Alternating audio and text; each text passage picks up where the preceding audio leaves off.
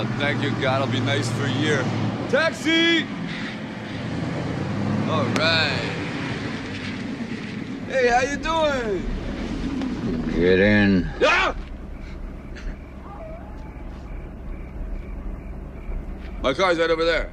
I don't need a ride. Thanks anyway. Why don't you get in?